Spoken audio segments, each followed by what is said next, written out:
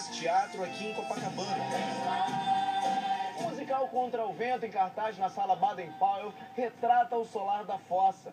Lendária pensão que nos anos 60 abrigou nomes fundamentais da música, teatro, cinema e vários tipos de arte do nosso Brasil.